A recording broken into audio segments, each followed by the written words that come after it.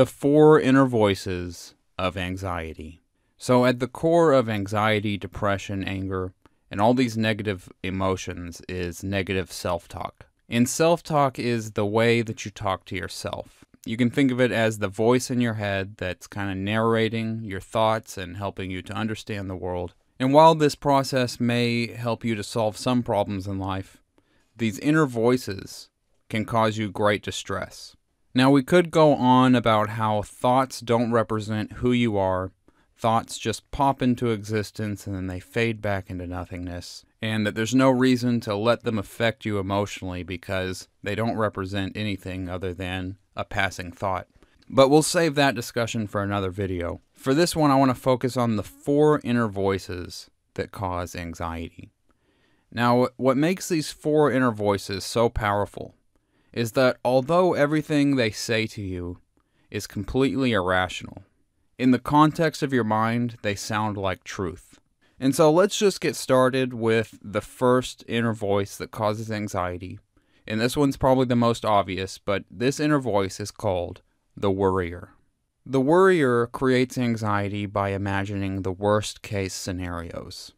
It's constantly daydreaming, trying to figure out how it could turn the current situation into a catastrophe.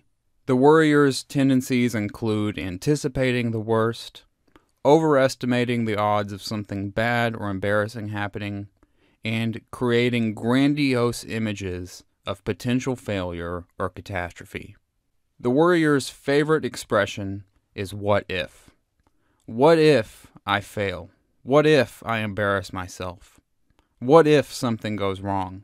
What if I get fired? What if I crash my car? What if my spouse dies? There's no end to what the worrier can dream up, as long as it has the phrase, what if. And maybe you can already see that in the phrase, what if, there is no truth. It's pure speculation. It finds any way it can to show you how the situation could go terribly wrong. I remember for myself, I used to have a tendency to, if I heard a loud noise behind me, I would immediately think that it was some type of violent intruder, like a mass shooter or a burglar, or, you know, just some person who was there to commit violence. Now, over time, I was able to recognize this tendency in it, and it gradually faded away. But this is the worrier at work. It's taking small details of the situation and finding ways to present them to you as if it's a catastrophe. All this does is it just hypes you up for no reason, and it's not based in reality. But let's move on to the second inner voice that causes anxiety. This one is called the critic. So, the critic is the part of you that's constantly judging you and judging your behavior. The critic points out your flaws and limitations whenever possible. It likes to compare you with others and usually sees others favorably while it sees you unfavorably. It tends to ignore your positive qualities and emphasizes your weaknesses. The critic's favorite expressions are, What a disappointment you are, that was stupid, you're an idiot, and a lot of phrases that include the word you. So even though it's in your head talking to yourself, you think in these phrases of you are blank. You know, you're talking to yourself saying you are this. It's almost like you're talking to another person, but you're talking to yourself and you're putting yourself down. So anytime you catch your thoughts including the phrase you, and it's as if you're talking to another person, but you're talking to yourself, and you're being really harsh and judgmental, this is the critic. Now let's move on to the third inner voice that causes anxiety, this is the victim. So the victim is the part of you that feels hopeless or helpless. It feels like it has no control over the events and is purely at the mercy of either random chance or other people's decisions. Some of the victim's favorite expressions are I can't, I'll never be able to, it's impossible, I may as well give up now, what's the point of even trying, I've already tried everything and nothing worked. These are the thoughts of the victim. And again, these are thoughts that are not based in truth. You know, when you think a phrase like, I've already tried everything and nothing worked, it's just not truthful that you've already tried everything. You know, everything is one of these broad words that, you know, it seems like it means something, but you could never actually have everything. And while there may be situations where you don't have much control over the outcome, you don't have to feel like a victim of the situation. You always have control, at least of your own actions and your own feelings. But now we'll move on to the fourth and final inner voice of anxiety. This is the perfectionist. The perfectionist promotes chronic stress and burnout.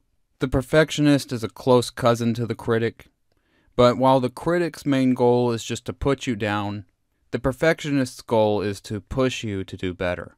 The perfectionist is the hard driving part of you that wants you to be better, but its main mistake is to have the tendency to base your self worth on your external achievements. So when you don't perform perfectly, you see yourself as a failure. One of the perfectionist's favorite expressions is I should. I should have done better. I should have done this. I should have done that. I should have gotten a 100 on the test. You know, the perfectionist says I should so much that it practically shoulds all over itself. So those are the four inner voices that cause anxiety.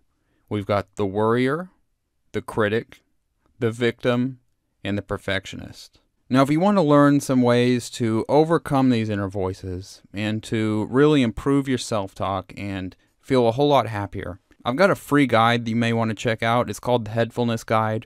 It's going to teach you a four step strategy I call the BRRRR strategy. It stands for breathe, relax, review, and repeat. And it's a great strategy to help you relieve stress in the short term and the long term. And the best part about it is it's totally free. All you have to do is sign up for my newsletter and I'll send it to you right away. You can go download it at headfulness.com slash guide. I'll put the link down in the description. If you found this video helpful, make sure to click that subscribe button. And if you really liked it, click that thumbs up too.